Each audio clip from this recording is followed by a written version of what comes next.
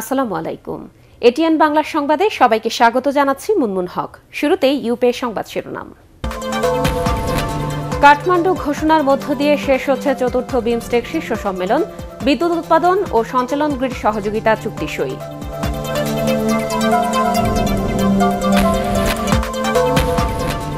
ঈদ যাত্রায় দুশো সাঁত্রিশটি সড়ক দুর্ঘটনায় সারা দেশে দুশো উনষাট জন নিহত হয়েছে আহত প্রায় এক হাজার তথ্য যাত্রী কল্যাণ সমিতির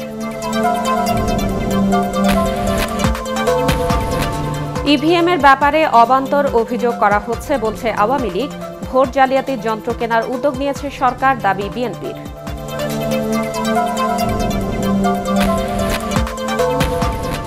এবং দেশে প্রতিদিন সাপের কামড়ে মারা যাচ্ছে অন্তত সতেরো জন পর্যাপ্ত ইনজেকশন না থাকায় মৃতের সংখ্যা বাড়ছে বলছে বিশ্ব স্বাস্থ্য সংস্থা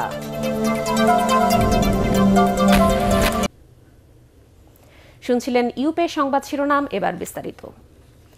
কাঠমান্ডু ঘোষণার মধ্য দিয়ে কিছুক্ষণের মধ্যে নেপালে শেষ হচ্ছে চতুর্থ বিমস্টেক শীর্ষ সম্মেলন সম্মেলনের সমাপনী দিনে বিদ্যুৎ উৎপাদন ও সঞ্চালন গ্রিড সহযোগিতা চুক্তি সই হয়েছে এবারের বিমস্টেক কাঠমান্ডু ঘোষণায় অবশ্য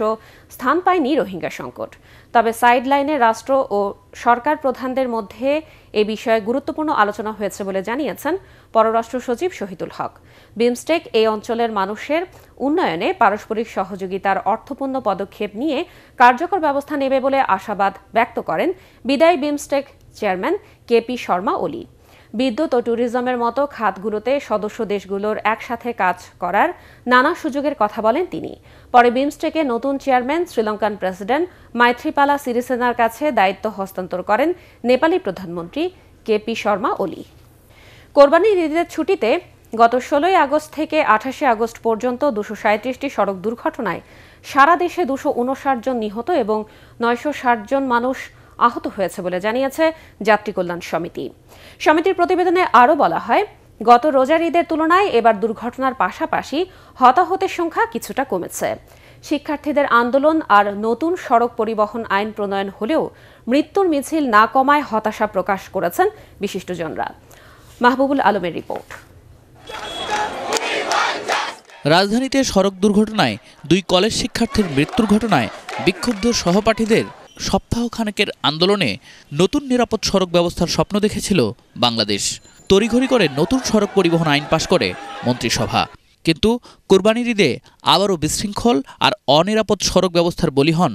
আরও দুইশো উনষাট জন মানুষ অনিরাপদ সড়ক ব্যবস্থা দুঃস্বপ্ন হয়ে ধরা দেয় আহত হয়ে বেঁচে থাকা প্রায় হাজার খানেক মানুষের সামনে যাত্রী কল্যাণ সমিতির তথ্য মতে সরকারের নানামুখী তৎপরতায় রোজার ঈদের তুলনায় দুর্ঘটনা কিছুটা কমেছে তবে গত বছরের তুলনায় এবছর কোরবানির ঈদে সড়ক দুর্ঘটনা ও প্রাণহানি দুই বেড়েছে সবাই সড়ক নিরাপত্তা ও সড়কে শৃঙ্খলা ফেরাতে যখন রাত দিন গলতকর্ম তখন কিছু অসাধু অতিলোভী মালিক ও পরিবহন শ্রমিকদের ব্যাপরোয়া মানসিকতা সড়কে নৈরাজ্য ও সড়কে হত্যা কোনোভাবেই থামানো যাচ্ছে না ঢাকা রিপোর্টার্স ইউনিটিতে সড়ক দুর্ঘটনা নিয়ে যাত্রী কল্যাণ সমিতি আয়োজিত প্রতিবেদন প্রকাশ অনুষ্ঠানে বক্তারা আরও বলেন পরিবহন শ্রমিকদের বেপরোয়া মানসিকতার কারণে সড়কে বাড়ছে মৃত্যুর মিছিল অ্যাক্সিডেন্ট তো হতেই পারে নানা কারণে কিন্তু যেই অ্যাক্সিডেন্ট একটা হেল্পার বা একটা চালক স্বেচ্ছাচারিতার কারণে ধাক্কা দিয়ে একজনকে ফেলে মৃত্যু ঘটালো অথবা রেসিং করতে গিয়ে মৃত্যু ঘটালো অথবা মালিক পক্ষের চাপের মুখে রেসিং করতে বাধ্য চালকরা সড়ক দুর্ঘটনা ঘটাচ্ছে ওইটাই আমাদের ব্যথিত করে এই বাস বা এই পরিবহন সেক্টরটাও কিন্তু দেখবেন একই রকমের সমস্যার মধ্যে জর্জরিত এত পাওয়ারফুল লোকজন এর পরিচালনা বলেন সেটা শ্রমিক সংগঠনের নেতা হচ্ছেন একজন মন্ত্রী এবং মালিক সংগঠনের নেতা হচ্ছেন একজন এমপি মন্ত্রী মন্ত্রী এই মন্ত্রী এমপিরাই দেখা যাচ্ছে শ্রমিকদেরও প্রতিনিধিত্ব করেন যাত্রী কল্যাণ সমিতি প্রকাশিত প্রতিবেদনে দুর্ঘটনার সার্বিক চিত্র তুলে ধরার পাশাপাশি সড়ক পরিবহন ব্যবস্থায় শৃঙ্খলা ফেরাতে পরিবহন মন্ত্রণালয়ের অধীন রোড সেফটি ইউনিট গঠন সরকারি উদ্যোগে দেশব্যাপী সড়ক চালক প্রশিক্ষণ কেন্দ্র গড়ে তোলা সহ দশ দফা সুপারিশ তুলে ধরা হয় Mahbubul Alam ATN Bangla Dhaka electronic voting machine EVM e এর ব্যাপারে অবান্তর অভিযোগ করা হচ্ছে বলে মন্তব্য করেছেন আওয়ামী লীগ সাধারণ সম্পাদক ওবায়দুল কাদের সকালে সিলেট সার্কিট হাউসে সংবাদ সম্মেলনে তিনি আরও বলেন নির্বাচনে হেরে গেলে কারচুপির অভিযোগ তোলার জন্যই কি ইভিএম e চায় না বিএনপি তার মতে এই পদ্ধতিতে অজুহাতের কোনো সুযোগ নেই আরও জানাচ্ছেন নিয়াজ জামান সজীব সিলেট সফরের দ্বিতীয় দিন সার্কিট হাউসে সংবাদ সম্মেলন করেন আওয়ামী লীগ সাধারণ সম্পাদক ওবায়দুল কাদের তিনি বলেন বিএনপির আচরণ দেখে মনে হচ্ছে তারা দু সালের মতো আরও একটি মোটিভেটেড নির্বাচন চাই নিরপেক্ষ সরকারের ইলেকশনে দরকার নিরপেক্ষ নির্বাচন কমিশন যারা প্রতিদ্বন্দ্বিতা করবে তাদের দরকার নির্বাচনটা নিরপেক্ষ হবে নিরপেক্ষ নির্বাচন হলে তাদের ভয় কোথায় জনগণের প্রতি আস্থা না থাকায় তারা শর্ত দিচ্ছে বলেও মন্তব্য করেন তিনি অংশ নেওয়ার পথে আওয়ামী লীগ বা আওয়ামী লীগ সরকার কোনো বাধা কিনা কোনো প্রতিবন্ধকতা সৃষ্টি করছে কি না যদি না করে তাহলে আপনি কেন অংশ নেবেন না আর সে অপবাদ কেন আমাদের উপর চাপাবেন নির্বাচন কমিশন পাঁচ সদস্যের একজন ভিন্ন মত দিতেই পারেন এটা গণতান্ত্রিক চর্চা আর এতে কোনো ধরনের জটিলতা সৃষ্টি হবে না বলেও মনে করেন তিনি নিয়াজ্জামান সজীব এটিএন বাংলা সিলেট সরকারের ভোট ডাকাতির মাস্টার প্ল্যান বাস্তবায়নে ইভিএম ব্যবহারের অনুমোদন দিয়ে নির্বাচন কমিশন আরপিও সংশোধনের উদ্যোগ নিয়েছে বলে অভিযোগ করেছেন বিএনপি নেতারা জাতীয় প্রেস ক্লাবে এক আলোচনা সভায় বিএনপির স্থায়ী কমিটির সদস্য ব্যারিস্টার মৌদুদ আহমদ দাবি করেন প্রশ্নবিদ্ধ হওয়ায় পৃথিবীর কোনো দেশেই ইভিএম পদ্ধতি গ্রহণযোগ্য হয়নি আর নয়াপল্টনে দলের কেন্দ্রীয় কার্যালয়ে সংবাদ সম্মেলনে বিএনপি সিনিয়র যুগ্ম মহাসচিব রুহুল কবির রিজভি অভিযোগ করেন জনগণের টাকা লোপাট করতেই ভোট জালিয়াতির যন্ত্র কেনার উদ্যোগ নিয়েছে সরকার সত্যিকারের গণতন্ত্রের সরকার পরিচালনায় যে জনগণের ম্যান্ডেট প্রয়োজন হয় সেটা প্রধানমন্ত্রী বিশ্বাস করেন না সেজন্য বর্তমান প্রধানমন্ত্রী বিনা ভোটের প্রধানমন্ত্রী থাকতেই ভালোবাসেন তাই অনুগত প্রধান নির্বাচন কমিশনারকে হাতিয়ার হিসাবে ব্যবহার করে ইভিএম e নামক জাদুর বাক্স আমদানি করে আগামী জাতীয় নির্বাচনে ধাপ্পাবাজির ভোটের বন্দোবস্ত করছেন তিনি সরকার মানুষের উপর আস্থা হারিয়ে যন্ত্রের উপর আস্থা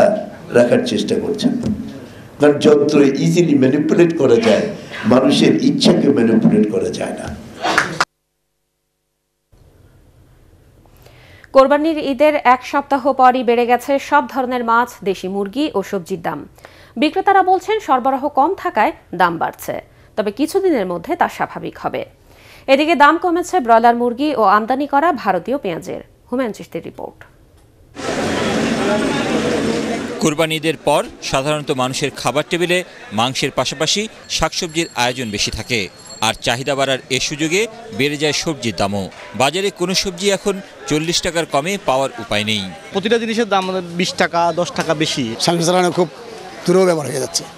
দিন দিনই বাজার তদারকি করার মতো তো কোনো লোকজন নাই কোনো মনিটরিং এর ব্যবস্থা নাই আমদামি কমবে দাম বাড়বে আমদামি বেশি হবে দাম কমে ঈদের টাইম তো অনেকেই নিয়ে আসতেছে না এই জন্য দাম বেশি ঈদের পর মাছের বাজারে যেন আগুন লেগেছে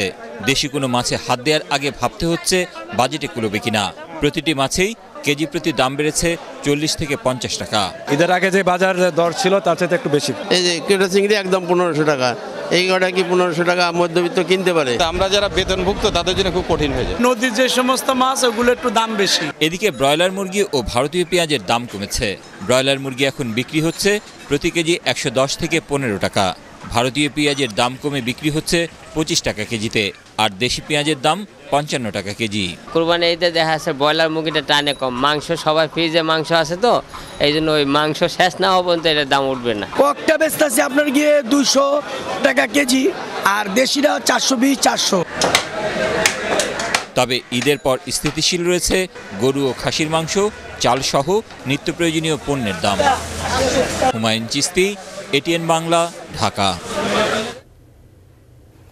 দেশে প্রতিদিন সাপের কামড়ে মারা যাচ্ছে অন্তত সতেরো জন বিশ্ব স্বাস্থ্য সংস্থার এক সমীক্ষায় উঠে এসেছে এমন চিত্র হাসপাতালে সাপের বিষ নিষ্ক্রিয়কারী ইঞ্জেকশন পর্যাপ্ত না থাকায় মৃতের সংখ্যা বাড়ছে বলেও মনে করে সংস্থাটি তবে স্বাস্থ্য প্রতিমন্ত্রী জাহিদ মালিক জানিয়েছেন এ বিষয়ে গুরুত্ব দিয়ে কাজ করছে সরকার ইঞ্জেকশন তৈরির জন্য চট্টগ্রাম মেডিকেল কলেজে করা হয়েছে venom research centre Mahbub Kabir চপলের রিপোর্ট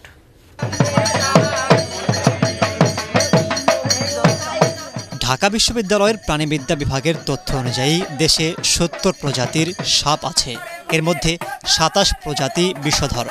সারা বছরে সাপের কামড়ের শিকার হন অনেকেই তবে মে থেকে অক্টোবর মাস পর্যন্ত তা বেশি ঘটে লাগে লাগে বিশ্ব স্বাস্থ্য সংস্থার হিসেবে প্রতি বছর বাংলাদেশে সাপের কামড়ের শিকার হন সাত লাখ মানুষ অন্ধকারে হাঁটার সময় আক্রান্ত হন উনত্রিশ শতাংশ মাঠে কাজের সময় চব্বিশ শতাংশ আর রাতে ঘুমানোর সময় পনেরো শতাংশ আক্রান্তদের মাত্র তিন শতাংশ হাসপাতালে চিকিৎসা নেন ছিয়াশি শতাংশ মানুষ ওঝার শরণাপন্ন হন প্রতি বছর মারা যান ছয় হাজার মানুষ যথাযথ প্রাথমিক চিকিৎসা দেয় অর্থাৎ হাড় ভাঙলে যেরকম করে গিট না দিয়ে জোরে গিট না দেওয়া তো উত্তম উদার কাছে না দেওয়া তো উত্তম দ্রুত হাসপাতালে আসে যদি ক্ষতিকারক প্রাথমিক চিকিৎসাগুলি না দেয় তাহলে এটা অবশ্যই প্রতিরোধ করা সম্ভব সাপে কামড়ালে বিষ স্নায়ুতে আঘাত করে শ্বাস প্রশ্বাসে বাধার সৃষ্টি করে চামড়ার টিস্যু ক্ষতিগ্রস্ত হয় দেহের অভ্যন্তরে রক্তক্ষরণ ঘটে এর চিকিৎসা অ্যান্টিভেনম ইঞ্জেকশন যা সাপের বিষ দিয়েই তৈরি হয় বাংলাদেশে উৎপাদন না হওয়ায় এই ইঞ্জেকশন ভারত থেকে আমদানি করতে হয় তবে দেরিতে হলেও অ্যান্টিভেনম উৎপাদনের সিদ্ধান্ত নিয়েছে সরকার যারা মানুষকে দংশন করে এবং যাদের কামড়ে মানুষ মারা যায় এই ধরনের সাপ থেকে বিষ সংগ্রহ করে এই বিষের বিরুদ্ধে যে প্রতিষেধক বা অ্যান্টিভেনম এটা তৈরি করতে হবে ওটাই হবে বাংলাদেশের সর্পদংশিত রোগীরা আছেন ওদের জন্য সবচাইতে অ্যাপ্রোপ্রিয়েট অ্যান্টিভেনম বা সবচাইতে অ্যাপ্রোপ্রিয়েট প্রতিষেধক দুইটি ব্যবস্থা আমি মনে করি বেশি গুরুত্বপূর্ণ একটা হলো ভ্যানমটা অ্যাভেলেবল করা এবং যে ডক্টরস বা নার্সের যারা ভ্যানমটা প্রয়োগ করবে অ্যান্টিভ্যানমটা তাদেরকে ট্রেন করা বিষয়টিকে গুরুত্ব দিয়ে দেশে প্রথমবারের মতো আয়োজন করা হয় আন্তর্জাতিক সেমিনার মাহবুব কবির চপল এটিএন বাংলা ঢাকা রাজধানীর ওয়ারিতে নড়াইলে শিশু গৃহকর্মী রোকসানা খানমের ওপর অমানবিক নির্যাতনের প্রতিবাদে জাতীয় প্রেসক্লাবের সামনে মানববন্ধন করেছে নড়াইল জেলা সমিতি ঢাকা এ সময় অভিযুক্তদের দৃষ্টান্তমূলক শাস্তির দাবি জানানো হয় নড়াইল জেলা সমিতির সাধারণ সম্পাদক অবসরপ্রাপ্ত লেফটেন্যান্ট কর্নেল সৈয়দ হাসান ইকবাল মানববন্ধনে অন্যান্যের মধ্যে উপস্থিত ছিলেন তাদের অভিযোগ ওয়ারির রূপচাঁদ দাস লেনের গৃহকর্তা আসাদুল্লাহ মোল্লা ও তার পরিবারের সদস্যরা দীর্ঘদিন ধরে রোকসানার উপর মধ্যযুগীয় কায়দায় নির্যাতন চালাতেন পরে মুমূর্ষু অবস্থায় স্বজনদের কাছে তুলে দিলে তারা রোকসানাকে হাসপাতালে ভর্তি করেন আলারাফা ইসলামী ব্যাংক অর্থ সংবাদ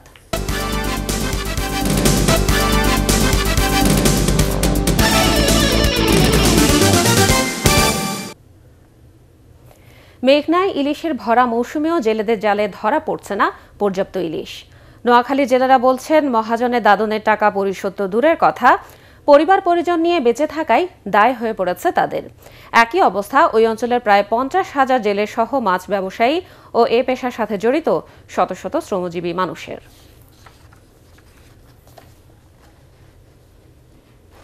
এসআইবিএল আন্তর্জাতিক সংবাদ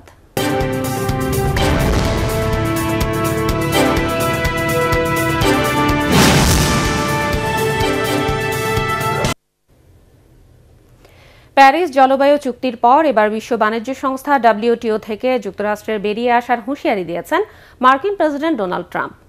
ডাব্লিউটিও যুক্তরাষ্ট্রের বিষয়ে পক্ষপাতমূলক আচরণ করছে অভিযোগ করে তিনি বলেন সংস্থাটির মনোভাব পরিবর্তন না হলে সরে আসবে যুক্তরাষ্ট্র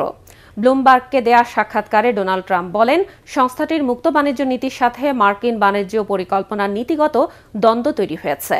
এর আগে গত বছর ফক্স নিউজকে দেয়া সাক্ষাৎকারে তিনি বলেছিলেন বিশ্ব বিশ্ব বাণিজ্য সংস্থা বিশ্বের সব মানুষের জন্য ভাবলেও যুক্তরাষ্ট্রের ক্ষতির দিকেই আগ্রহী স্ট্যান্ডার্ড ব্যাংক বাণিজ্য সংবাদ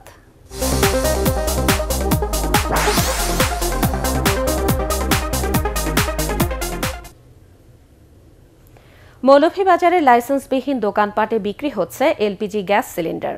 ফায়ার সার্ভিস ও প্রশাসনের অনুমতি ছাড়া এসব সিলিন্ডার বিক্রি হলেও তাদের বিরুদ্ধে ব্যবস্থা নেয়নি প্রশাসন ফলে যে কোনো সময় ঘটতে পারে বড় ধরনের দুর্ঘটনা রূপালী ব্যাংক এশিয়ান গেমসের খবর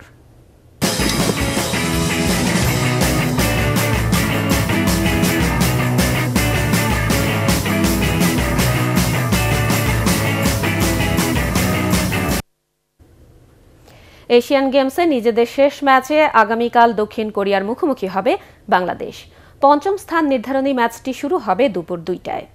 দক্ষিণ কোরিয়ার বিপক্ষে প্রস্তুতি ম্যাচে খেলার অভিজ্ঞতা থেকেই কোচ গোবিনাথান কৃষ্ণমূর্তির আশা এ ম্যাচেও ভালো কিছু করতে পারবে বাংলাদেশ দেশের স্ট্রাইকার রাসেল মাহমুদ জিমির মতে র্যাঙ্কিং আর পারফরমেন্সে বেশ পিছিয়ে থাকায় দক্ষিণ কোরিয়ার বিপক্ষে বাংলাদেশের হারানোর কিছু নেই পার্টেক্স খেলার খবর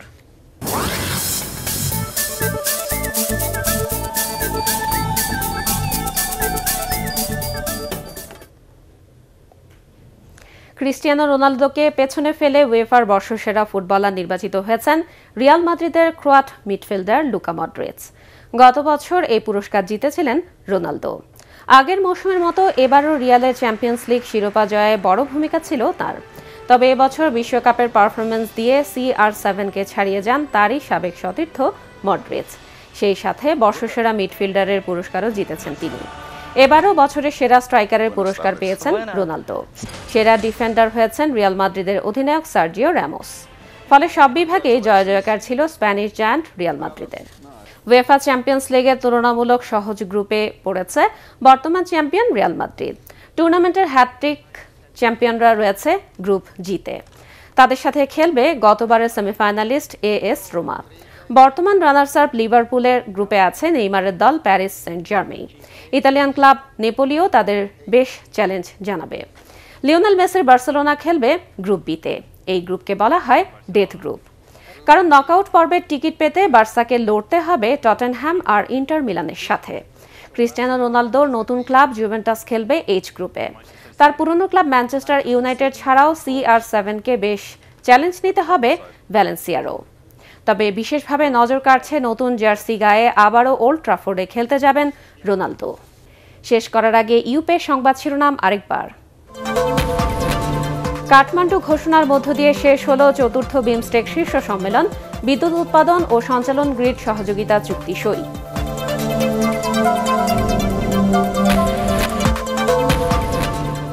ঈদ যাত্রায় দুশো সাঁত্রিশটি সড়ক দুর্ঘটনায় সারা দেশে দুশো উনষাট জন নিহত হয়েছে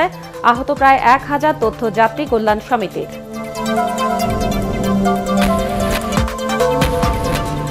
ইভিএম e এর ব্যাপারে অবান্তর অভিযোগ করা হচ্ছে বলছে আওয়ামী লীগ ভোট জালিয়াতির যন্ত্র কেনার উদ্যোগ নিয়েছে সরকার দাবি বিএনপির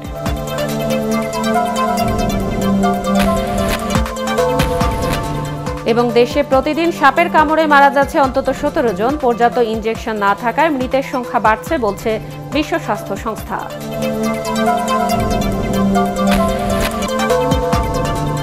এই ছিল এখনকার মতো এটিএন বাংলা সংবাদ ইউটিউবে দেখতে ব্রাউজ করুন dot YouTube com tube news subscribe করে থাকুন এটিএন বাংলার সাথে